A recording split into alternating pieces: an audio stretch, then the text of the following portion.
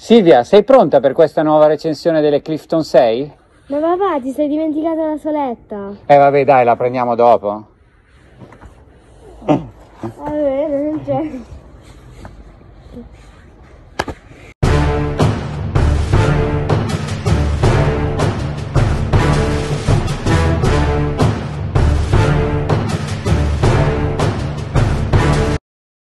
Buongiorno ragazzi, oggi andremo senza Silvia in pista da Andrea Soffientini a Garbagnate e parleremo delle Clifton 6. Dal peso ridotto di 255 grammi sono scarpe neutre con ammortizzazione bilanciata adatte a tutti i podisti per tutti i giorni. Per noi sono scarpe eccezionali, sono scarpe che possono essere utilizzate in diverse condizioni e parleremo con Andrea di quali eh, modalità di utilizzo suggeriamo a voi podisti. Con la versione 6 la tomaia è più traspirante, più morbida, più sottile e soprattutto lo spazio nell'avampiede è eh, maggiore rispetto al passato. Con il sesto modello la conchiglia è più rigida, il piede è bloccato ma soprattutto resta molto confortevole grazie all'imbottitura. Il nostro sito The Running Pit presenta foto e recensione dettagliata. Qui ci limitiamo a descrivere con Andrea Soffientini qual è il comportamento nella corsa.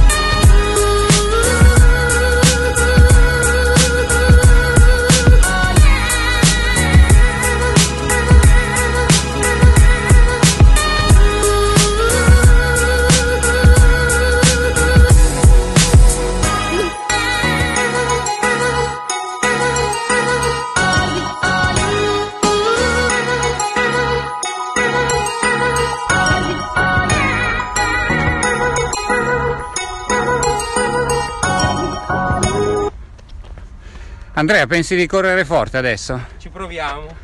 Ma sono adatte queste scarpe? Boh, non lo so, vediamo. Ok, vai.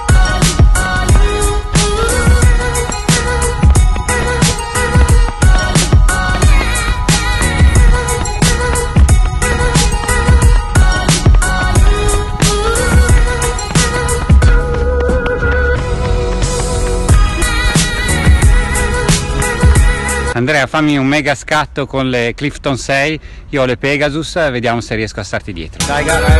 Yeah.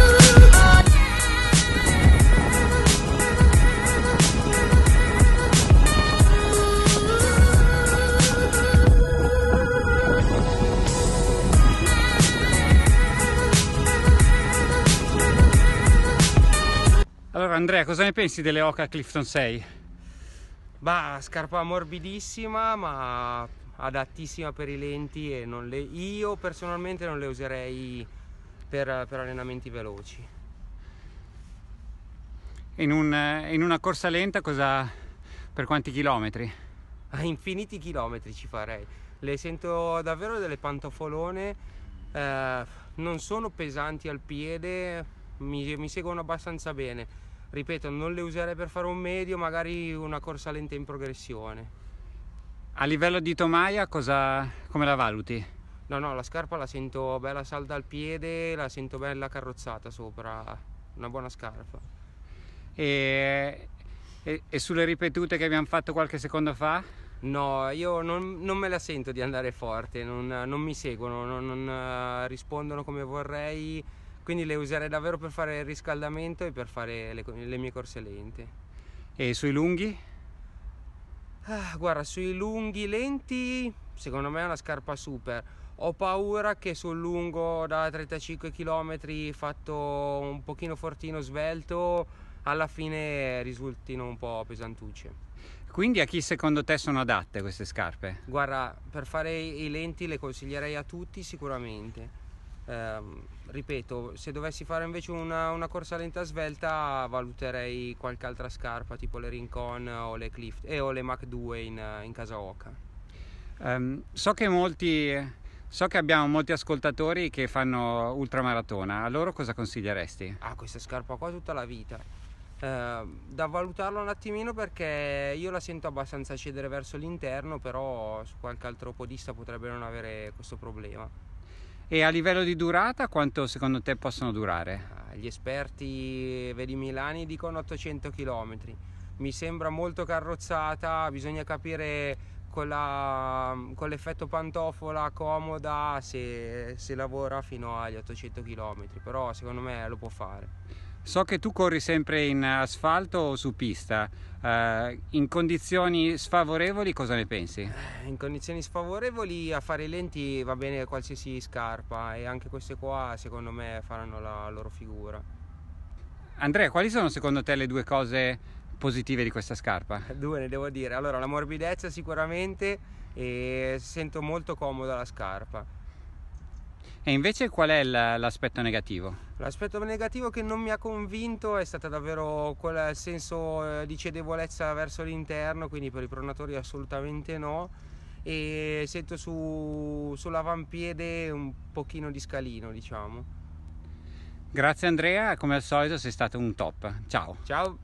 Siamo tornati sulla panchina, concludendo la nostra recensione possiamo dire che le Clifton 6 sono davvero delle ottime scarpe, ben ammortizzate e per tre ragioni le suggeriamo ai podisti amatori di tutti i livelli. Da un lato hanno una ma maggiore durata, secondo noi durano almeno 800 km anche per coloro i quali hanno un peso abbastanza abbondante. D'altro canto la maggiore morbidezza rispetto ai modelli precedenti offre un comfort unico a chi eh, pensa di utilizzare queste scarpe per le corse lente. Infine lo spazio a disposizione dell'avampiede è migliorato e questo consente a tutti i podisti di utilizzarle per infiniti chilometri. Concludiamo dicendo che dalla 1 alla 5 le Clifton hanno sempre avuto un passaggio indietro. Finalmente la casa americana è riuscita a sviluppare un modello che può essere adatto a tutti i podisti di tutti i livelli. Grazie ancora, speriamo di sentirci presto e se volete eh, commentare e avete delle domande su questa recensione, come al solito, sempre qua sotto e se riuscite vi consiglio di iscrivervi al gruppo in modo tale di non perdere nessuna delle prossime recensioni che saranno ovviamente copiose come al solito. Ciao, a presto!